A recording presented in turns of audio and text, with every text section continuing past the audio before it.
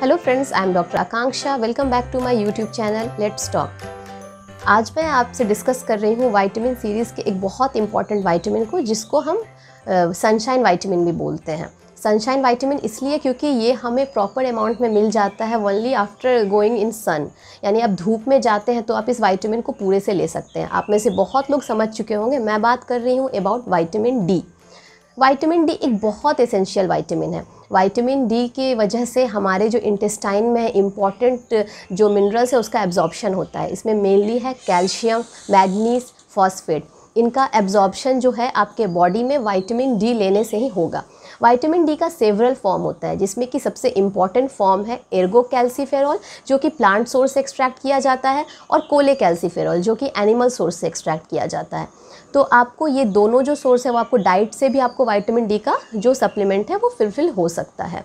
अब है कि बॉडी में जो इंपॉर्टेंट कंपोनेंट है वाइटामिन डी का कोले कैल्सीफेरॉल ये कैसे मतलब इसका सिंथेसिस होगा? तो जैसे कि आपके बॉडी में सन, आप जैसे धूप में जाते हैं और सन का एक्सपोजर होता है आपके बॉडी में तो वाइटामिन डी का जो कंपोनेंट है कोले कैल्सीफेरॉल इसका सिंथेसिस स्किन के लोअर लेयर यानी कि एपिडर्मिस में होना स्टार्ट होता है। एक केमिकल रिएक्शन होती है आपकी बॉडी में जब आपका स्किन जो है सन रेज आपके स्किन पे पड़ेगा तो आपके स्किन में केमिकल रिएक्शन स्टार्ट होगा।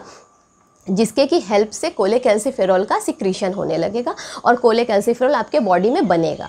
तो कोले कैल्सीफेरॉल ऐसे आप अगर धूप में नहीं भी जाते हैं तो भी आपके, आप अपने डाइट से भी कोले कैल्सीफेरॉल एक्सट्रैक्ट कर सकते हैं। इसमें इंपॉर्टेंट है, जैसे कि आप डेयरी प्रोडक्ट लेते हैं पोल्ट्री लेते हैं मशरूम लेते हैं फ़िश लेते हैं, जितने भी स्पेशली नॉन वेजिटेरियन फूड्स लेते हैं तो आपके बॉडी में कोले कैल्सीफेरॉल बनता है। अब वाइटामिन डी का इंपॉर्टेंट रोल क्या है? तो वाइटामिन डी की डेफिशिएंसी से बच्चों में एक डिज़ीज़ होती है जो है रिकेट्स रिकेट्स यानी उनके बोन का सॉफ्टनिंग हो जाएगा. उसी तरह से एडल्ट्स में भी वाइटामिन डी की जो डेफिशिएंसी है ओल्डर एज ग्रुप में, उनमें होगा ऑस्टियोमेलेसिया उनमें भी सॉफ्टनिंग ऑफ़ बोन होगा बोन एंड जॉइंट पेन होगा. बोन का डिसऑर्डर जनरली क्यों होता है वाइटामिन डी की डेफिशिएंसी से? क्योंकि वाइटामिन डी अगर आपके बॉडी में डेफिशिएंट है तो आपके बॉडी में कैल्शियम का जो एब्जॉर्बशन है वो हो नहीं पाएगा। उससे क्या होगा? आपका बोन वीक होगा। वाइटामिन डी एक इतना इंपॉर्टेंट वाइटामिन है कि आपके बॉडी को इन्फेक्शन से लड़ने से भी बचाता है। आपके बॉडी के इम्यून सिस्टम को भी इम्प्रूव करता है। ये तो हमारा जितना भी वाइटामिन वाइटामिन है, वो सब ऐसा करता है, लेकिन वाइटामिन डी भी इसमें एक बहुत इंपॉर्टेंट रोल प्ले करता है। इससे आपके बॉडी में जो भी इसेंशियल न्यूट्रिएंट्स है, उसका भी एब्जॉर्प्शन होता है। आपके जो बोन है, उसको हेल्दी रखता है। आपके हेयर को, आपके तीत को भी हेल्दी रखता है। और आपके जो, आपका जो कुछ कुछ प्रॉब्लम्स होता है, जैसे कि आपको थकान होगी या लेथार्जीनेस होगा या आपका हेयर लॉस होगा, वो सब वाइटामिन डी की डेफिशिएंसी से हो सकती है। वाइटामिन डी की डेफिशिएंसी से मेनली जो प्रेग्नेंट लेडीज़ है उनमें बहुत कुछ प्रॉब्लम देखा जाता है। आप नोटिस करते होंगे कि जब कुछ प्रे, कोई प्रेग्नेंट लेडी है उनका हैंड फिंगर फीट या फेस सोलन रहता है। उनमें ब्लड प्रेशर बहुत ज़्यादा फ्लक्चुएट करता है। तो ऐसा इसलिए होता है क्योंकि उनके बॉडी में वाइटामिन डी की डेफिशिएंसी होती है। इवन प्रेगनेंसी के दौरान वजाइना में जो बैक्टीरियल इन्फेक्शन कुछ लेडीज़ में होता है वो भी वाइटामिन डी की डेफिशिएंसी से ही होती है। यानी कि अगर आप वाइटामिन डी प्रॉपर नहीं ले रहे हैं या कुछ भी रीज़न हो, आप वैसा डाइट नहीं ले रहे हैं, आप बाहर धूप में भी नहीं निकल रहे हैं, या फिर आप कुछ ऐसे लोकेलिटी में रहते हैं जहाँ पर सनलाइट प्रॉपर नहीं है तो प्रेगनेंट लेडीज़ में ये प्रॉब्लम होगा। मेन जो सिम्टम है और जो ये जो प्रॉब्लम है प्रेग्नेंट लेडीज़ में, वो होता है बीपी के फ्लक्चुएशन के कारण, जिसको हम प्री इक्लैम्सिया भी कहते हैं। प्रेगनेंसी के दौरान उनका बीपी बहुत हाई रहेगा, उनका ब्लड प्रेशर बहुत ज़्यादा हाई रहेगा, उनका हैंड फीट वगैरह स्वेलन रहेगा आई स्वेलन रहेगी और बहुत ज़्यादा अनईजीनेस भी होगा। तो ये सब भी वाइटामिन डी की डेफिशिएंसी से होती है। वजाइना में जो बैक्टीरियल इन्फेक्शन है, वो भी वाइटामिन डी की डेफिशिएंसी से होगी। अब है कि अगर प्रेग्नेंट लेडीज़ में वाइटामिन डी इतना ज़्यादा कम हो गया कि हमें उन्हें सप्लीमेंटेशन देना पड़ा थ्रू मेडिसिन तो अचानक से उनके बॉडी में वाइटामिन डी हाई हो जाएगा। तो बाद में आफ्टर बर्थ वैसी जो मतलब मदर जो बेबीज़ को बर्थ देती हैं, उनमें कुछ फ़ूड एलर्जी हो हो जाता है। यानी कुछ बच्चों में आप देखते होंगे, जो न्यू बॉर्न है, उनको कुछ कुछ फ़ूड एलर से वो एलर्जिक होते हैं। यानी वो डाइजेस्ट नहीं कर पाते हैं। कुछ को लैक्टोज एलर्जी भी होती है, यानी वो मिल्क भी डाइजेस्ट नहीं कर पाएँगे। तो ऐसा इसलिए होता है क्योंकि उनकी मदर ने अपने डाइट के थ्रू या फिर मेडिसिन के थ्रू जो है वाइटामिन डी का जो है मॉनिटरिंग ठीक से नहीं कराया वाइटामिन डी सप्लीमेंटेशन प्रॉपर नहीं रखा। अब अचानक अचानक से ड्यूरिंग प्रेगनेंसी हमने उन्हें वाइटामिन डी थेरेपी दिया तो उनके बच्चों में कुछ फ़ूड से उन्हें उनके बच्चों को एलर्जी रहेगी, जो जो दो से तीन साल तक होने तक रहती है। इसीलिए वाइटामिन डी बहुत इंपॉर्टेंट है। आपके बॉडी में अगर वायरल इन्फेक्शन बैक्टीरियल इन्फेक्शन या फिर कुछ अगर इन्फ्लेमेटरी रिएक्शन होता है, जिसके अगेंस्ट आपका बॉडी जो इम्यून सिस्टम आपका बॉडी में एक इम्यून सिस्टम है जो कि फाइट करता है, आपके बॉडी के अंदर जो गुड बैक्टीरिया हैं, जो पैथोजेंस हैं, वो एंटी एंटीबॉडीज़ हैं, वो फाइट करते हैं, आपके बॉडी को डिज़ीज़ होने से प्रिवेंट करते हैं। तो इसको भी हेल्प करता है। आपका जो वाइटामिन डी है, वो आपके बॉडी में कोई बीमारी हुई जिससे आपका बॉडी ऑटोमेटिकली लड़ा, कुछ आप मेडिसिन लिए, कुछ ऑटोमेटिक फाइट किया तो इसको भी इंक्रीज़ करने में आपका जो वाइटामिन डी है, वो बहुत हेल्पफुल है। वाइटामिन डी का जो आपको मतलब रिक्वायरमेंट है, वो हर किसी के, हर किसी के लिए रहता है। बहुत इंपॉर्टेंट है वाइटामिन डी लेकिन कुछ एज ग्रुप है जिनमें वाइटामिन डी बहुत एसेंशियल है। ऐसे एज ग्रुप मेनली होते हैं जो यंग वीमेन होती हैं ओल्डर एज पीपुल होते हैं, या फिर जिनका मेनोपॉज है, या जो ओबेज है और जो बच्चे हैं, उनको वाइटामिन डी पूरे से लेना चाहिए। उनमें वाइटामिन डी की डेफिशिएंसी नहीं होनी चाहिए। अगर आप डेली बेसिस पे अगर आप four hundred to eight hundred I भी वाइटामिन डी लेते हैं तो भी ठीक है। लेकिन अगर एक ऑप्टिमल आपको लेवल मेंटेन करना है तो वन थाउज़ेंड से four thousand I vitamin D आपको लेना चाहिए।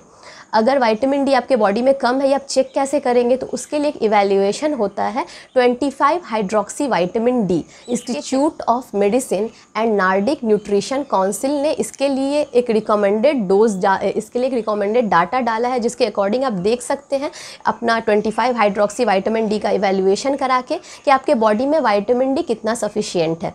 अगर आपका 25 हाइड्रोक्सी वाइटामिन डी 20 नैनोग्राम पर एमएल से कम आता है तो आप उस, आपके बॉडी में वाइटामिन डी की डेफिशिएंसी है। अगर 20 नैनोग्राम पर एमएल से आपके बॉडी में वाइटामिन डी अगर 25 हाइड्रोक्सी वाइटामिन डी ज़्यादा है तो आपके बॉडी में इसकी डेफिशिएंसी नहीं है। और अगर 12 से कम है तो आप इसके लिए डेफिशिएंट है, यानी आपके बॉडी में इंस्टेंट रिक्वायरमेंट है वाइटामिन डी की। तो वाइटामिन डी इतना इंपॉर्टेंट वाइटामिन है। वाइटामिन डी के कारण आपका बोन तिथ हेयर सब कुछ हेल्दी रहेगा और ये बहुत इंपॉर्टेंट रोल कर प्ले करता है इम्यून सिस्टम को भी बढ़ाने के लिए।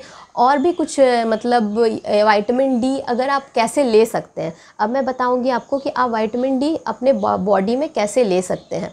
तो अगर आप वीक में दो से तीन दिन भी सन का एक्सपोज़र लेते हैं विदाउट अप्लीकेशन ऑफ़ सनस्क्रीन यानी आप बिना सनस्क्रीन के मॉर्निंग में अगर सन का एक्सपोज़र ले रहे हैं, वो भी अपने बैक पे फीट पे आर्म पे या एब्डोमेन पे तो आपके वाइटामिन डी का रिक्वायरमेंट फुलफ़िल हो जाता है। लेकिन प्रॉब्लम क्या होती है कि अगर आप वाइटामिन डी इस तरह से ले रहे हैं तो पहले तो आप जैसे ही जाएँ सन सनलाइट में तो आप कोशिश करें कि आप मॉर्निंग में जाएँ। मॉर्निंग का जो सन रेज़ है, वो लें। और ले भी उसके आने के तुरंत बाद आप कुछ भी अच्छा सनस्क्रीन अप्लाई करें। क्योंकि ऐसा करने से जो एक्सेस वाइटामिन डी है, जो आपके स्किन को डैमेज कर सकता है, वो हट जाएगा। यानी आपके बॉडी से वो रिमूव हो जाएगा। लेकिन अगर आप सन सन के थ्रू अगर वाइटामिन डी लेते हैं तो कुछ स्किन में प्रॉब्लम हो सकती है। जैसे रिंकल्स स्पॉट्स एक्सेट्रा तो इससे बचने के लिए क्या कर सकते हैं? आप अपनी डाइट में वाइटामिन डी इंक्लूड करें। आप जितने जितने भी डेयरी प्रोडक्ट्स हैं, मिल्क है, और आप जितना भी मतलब नॉनवेज फ़ूड है मशरूम है प्रोटीन रिच फ़ूड है, उसको अपने डाइट में इंक्लूड करें जिससे कि वाइटामिन डी का जो इंपॉर्टेंट फॉर्म है कोले कैल्सिफेरॉल वो आपके बॉडी में आपको मिल जाए। अब वाइटामिन डी कितना चाहिए और कितना हर किसी के लिए रिक्वायर्ड है, ये अलग अलग है और अलग अलग तरह से ये डिपेंड करता है। अगर आप इक्वेटर से दूर रहते हैं, आपके एरिया में सनलाइट प्रॉपर नहीं आती है, उन लोगों में वाइटामिन डी की डेफिशिएंसी ज़्यादा होती है। जो डार्क कलर पीपल होते हैं, उनमें भी वाइटामिन डी की डेफिशिएंसी ज़्यादा देखने को मिलेगी। और अगर जैसे कुछ ऐसे जगह हैं, कुछ जहाँ पे विंटर ज़्यादा होती है विंटर सीज़न लंबा चलता है, वहाँ पे सनलाइट लोगों को बिल्कुल नहीं मिल पाता या बहुत दिन तक नहीं मिलता है। उस बीच में उनका वाइटामिन डी डिक्रीज़ कर जाएगा। तो अगर आप, मौसम अगर बदल गया या बहुत दिन से सर्दी है और आप फील कर रहे हैं कि नहीं, मेरा बॉडी जो है, वो मैं ठीक फील नहीं कर रहा हूँ अनईजीनेस लग रहा है तो आप ये नहीं सोचें कि आपके बॉडी में कुछ ऐसा प्रॉब्लम हो गया या कोई बीमारी है। हो सकता है आपके बॉडी में कुछ वाइटामिन का पैरामीटर्स अगर ऊपर नीचे होता है तो भी आपके बॉडी में कुछ प्रॉब्लम्स कुछ सिम्टम्स आते हैं, जो कि आपको समझ में नहीं आता है कि मैं पेन हो रहा है, मैं बहुत थका हुआ लग रहा हूँ, मेरे बॉडी में अजीब सा लग रहा है या मेरा मेरा हेयर फॉल अचानक से होने लगा तो मैं आपको सजेस्ट करूँगी कि एक तो आप अपने डाइट पर एक रेगुलर चेक रखें कि मैं क्या खा रहा हूँ। उससे मेरा जो जितना भी एसेंशियल वाइटमिन है न्यूट्रिशन है, वो मुझे मिल रहा है कि नहीं? और प्लस एक इवेल्यूएशन अगर ज़्यादा प्रॉब्लम परसिस्ट करता है तो आप एक इवेल्यूएशन भी कराएँ। वाइटामिन डी की टॉक्सिसिटी बहुत रेयर होती है। अगर आप बहुत दिन तक सिक्सटी थाउज़ेंड आयु से ज़्यादा वाइटामिन लेंगे वाइटामिन डी तो आपको इसकी टॉक्सिसिटी हो सकती है। इसकी टॉक्सिसिटी में मेनली जो प्रॉब्लम होगा, वो आपके ब्लड में कैल्शियम लेवल बहुत बढ़ जाएगा। क्योंकि वाइटामिन डी से कैल्शियम का एब्जॉर्बशन होता है। अब आप ज़्यादा वाइटामिन डी ले रहे हैं तो कैल्शियम का एब्जॉर्बशन बढ़ेगा। इससे आपके ब्लड में कैल्शियम लेवल हाई होगा, आपका कॉन्स्टिपेशन हो सकता है और आपको किडनी में स्टोन हो सकते हैं कैल्शियम स्टोन फॉर्म हो सकते हैं। तो वाइटामिन डी अगर आप लें तो इसकी टॉक्सिसिटी जनरली बहुत रेयर है, नहीं देखने को मिलती है। लेकिन अब ज़्यादा अगर आप धूप में निकल रहे हैं, ज़्यादा आपका सन एक्सपोजर हो रहा है तो आप कोशिश करें कि जब भी आप बाहर निकलें अच्छा सनस्क्रीन लगा के निकलें और कुछ ऐसा सिम्टम अगर आपको देखने को मिले तो आप जितनी जल्दी हो सके twenty five hydroxy vitamin D का एक इवेल्यूएशन करा लें। आई होप आपके लिए आज का ये वीडियो हेल्पफुल रहा हो। वाइटमिन डी से रिलेटेड आपके दिमाग में कोई भी क्वेश्चन आए, आप मेरे से कमेंट सेक्शन में पूछ सकते हैं। तब तक के लिए मेरे वीडियो को लाइक कीजिए शेयर कीजिए, मेरे चैनल को सब्सक्राइब कीजिए। Bye bye take care